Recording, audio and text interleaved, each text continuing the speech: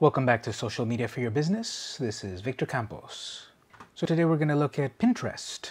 We'll see how we can set up Pinterest for business, creating boards to organize our content, and using search. So if you look at the other videos in this series, you'll see that many concepts overlap. If you understand them in one network, you can apply them to another. And then we'll see how each of the networks has uniqueness.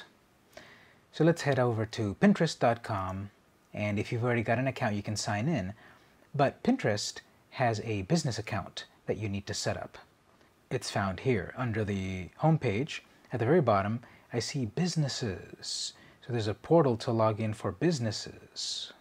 Get discovered, increase consideration, drive results. So this takes us to business.pinterest.com. And I would look at this portal here at your own pace so that you can get case studies, ideas, see how other companies do it. So I'll go through the process briefly of joining as a business. I need an email, password, business name, type, and website, which is optional, but I would say definitely fill in your website if you have one. Under business type, you should be able to select the business that makes sense for you. I'm going to choose local business for my fictional Victor's Bakery, and I'll create the account. We're first asked to follow five topics. This is going to help us with inspiration. As we run our social media campaigns, we might get writer's block, so if we follow various topics, that'll give us inspiration to further create more content. And that goes for every network, of course. Your business should follow other people or businesses so that you can get inspiration. Food and drink is one that makes sense for this business. Perhaps health and fitness. And then I have to search because I need more topics. Let's say I search for food, food photography, baking, I can choose plenty more here, baking, healthy baking, and I just want to get five so I can continue. So I get the home screen of content of what I have followed, the topics. I'll get back to the screen later. On the top left corner I have the Pinterest icon which will always take me back to the screen. I have a screen for analytics where I can get an overview, check my profile, who I reach. I've got the ad system where I can reach even a better audience. And this, like on every social network, is very valuable. Paying to reach more of an audience on a social network works.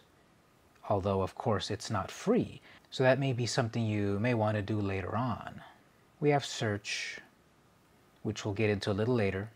We've got this explore screen where we will find more content, start pinning so we can upload images and such, any notifications that may have happened, and my own profile. So like every other network, you want to go to your profile and fill it in as soon as possible. Unlike other networks, it's not using the standard icon to edit the settings of your profile, which would be a gear. Here it's more of a nut, like nuts and bolts. So when I click on that nut and you want to edit your profile, have it as complete as possible. Picture about the business location and such. This is the screen where you also select your Pinterest name. At the moment, it's pinterest.com slash victorsbakery0452. If you want a simpler name or the same name as your other networks, this is where you choose it. I'll return to the profile and talk about an important goal for you as a business on Pinterest. You want to create boards. So boards are collections of your pins. A pin is what you share on Pinterest. You upload a picture, video, and such content. That's a pin. You want to then organize those pins into boards. These pin boards are going to be groups of ideas. So to create a pin board, you can just click. You'll be asked a couple of things here. What's its name? Is it secret? I would say most of the time you don't want a secret board. You want as many people as possible to be able to view this board. So I can make a board called recipes. And that would be okay, but it's too generic. Most of the secret of social media is that you want to reach an audience, a specific audience. You want to target. So having something called Simply Recipes is not targeted enough. Look at the suggestions it's giving me here. Places to go or recipes to make. So it's more active. Kids Recipes to Try would be a better name for this board than simply recipes. Ultimately, I'm trying to sell baked goods at victorsbakery.com and I'm using social media to drive traffic to my site. Easy recipes to try at home. I'm going to sell cupcakes and cookies and all that good stuff. But I'm also going to give away recipes of some of these baked goods that I make, not the original recipes, not the perfect recipe, but enough of an interesting recipe that people uh, pay attention to me, give me notice, try out my wares. So I created this board and then I need to populate it. Most likely populate it with my own content. So then I would click to upload an image or save a picture from a site. I'll do that in a moment. It's recommending searches to me. I can populate a board with other people's photos as well, other people's content. And that has some value because I would say Pinterest is one of the most share happy types of networks. You're going to share your own content, yes, but you're going to but you're also going to share other people's content to get attention. In the other videos I talked about liking other people's content, commenting on other people's content so that you can get activity back. I'm going to go back to the profile and create another board. A goal would be to create two to five boards to start off. I'll create one more. This time I'll call it San Diego Goodies. Here I'm using the keyword of San Diego. People may search that. They may find this board. San Diego Baked Goodies. I'm going to focus on my own content, of course my own pictures, but I'm happy to include other people's as well. So I've got a new board. I can further make changes to the board to increase its findability by clicking on the pencil of the board, where I can add a description. This description could be a couple sentences with more keywords to help me get found. In this example I wrote, only the best baked goods from all corners of San Diego. Do you like cookies, Mexican breads? How about a nice birthday cake? We've got you covered. So the voice of your social network is going to be something you develop and that you get good at as you use social media. If you have a marketing plan be sure to refer to it at all stages of social media so you can reach the best audience. I'm going to categorize the board so I can get found. Food and drink works here. And if I would like collaborators, that is, other people that are authorized to add content to this board, I can add their email here. They, of course, need to have a Pinterest account. As I said, I would recommend two to five boards. Once you create boards, however, you also want to populate them you don't want to leave the boards empty because then it looks like your profile is not complete. So you need to add a few photos per board so that it doesn't look empty. I'm going to add something now. If I go to the add icon, I'll try to first upload an image. I need to select the image and then a destination URL. This is optional, but the beauty of this link is that when anyone clicks on your picture, what you've pinned to Pinterest, it can then take them back to whatever website you designate here. So if I had some nice photos of food, I can select them to upload them. I've got something here, salad dressing. This could be a link back to one of the recipes on our site. And when people click, they can view. And when people click, they can follow the link. Continue takes me to the screen to choose which board should I pin this to. Now be careful here. As soon as you select a board, it will pin it to that board. It won't give you a chance to add any more description to this pin.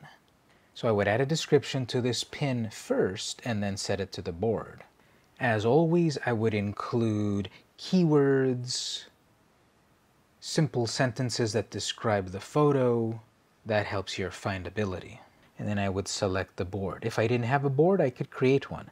But again, remember to populate these boards for maximum efficiency. After adding something to a board, I get a pop-up of recommendations. I'm going to ignore it for the moment. It'll go away. Well, that was like free advertising for someone on Pinterest. I eventually might get that as well via various factors such as being active, how popular I am, and so forth. So I've got one pin in one of my boards and the rest of it looks pretty sparse. So I'd want to add more pins to that board so that it looks like it actually is populated. The other way that I can share is save from site. This is going to ask for a for an address and it may recommend to use the browser button. If I add the browser button to my web browser, I'll be able to pin content easier. So let's say I have a link. What happens when I add a link is that Pinterest scans that page to find images images then I can upload to Pinterest. The more you use this technique on Pinterest, the more Pinterest will see that there is content in the Pinterest system. So I'm going to select a picture. This will again ask me, where would you like to place it? What board and what description? Add the description first and then select the board. This picture obviously has nothing to do with any of the content of this profile, but it is just to illustrate to you you can easily upload pictures from your site, which will then also inherit the link back to the site. Let me show that. In this case, I'm creating a brand new board at this moment. As soon as I select to create, it'll pin it. So again, make sure you add the description and then select the board. It got saved to my text stuff. I can further promote this pin, close the window, see it on Pinterest. Promoting pins is of course paying to have your content viewed by more people. I'll choose to see it now. So people would see this pin, where it was saved from, and that they can visit the original link. By using a URL to share, it automatically gets the link back to my site, therefore driving people back to my website. That might be one of the best ways to share to Pinterest. Save from site. That assumes you have a website with content that you can then share to Pinterest. You saw that by visiting my example site here, this is a blog with plenty of articles, pictures, and text. I then shared to Pinterest and now it's part of the whole Pinterest system. I can see related pins.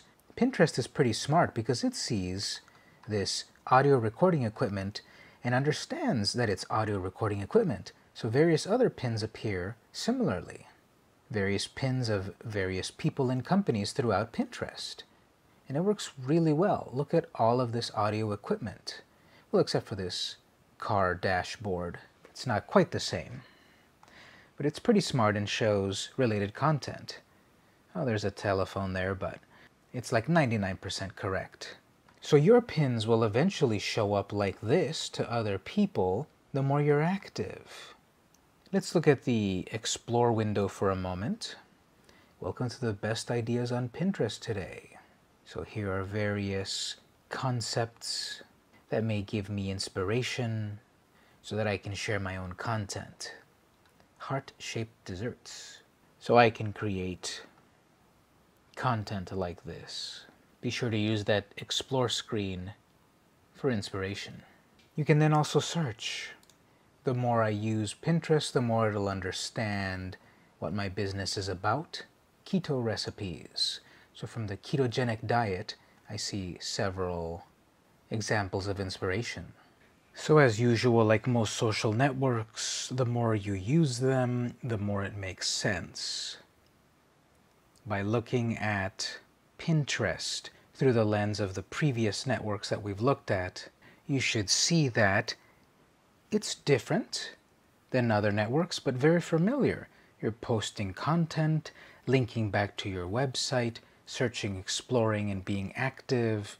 We, of course, here with Pinterest would click on various people's content so that you can comment, reply, like, and share. The point of that is to let them be aware of your existence.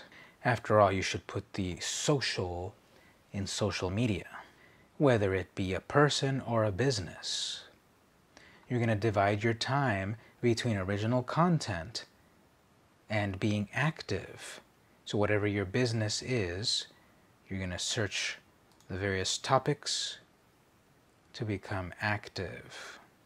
Don't get discouraged that in the beginning you don't have much activity. Social media is a full-time job.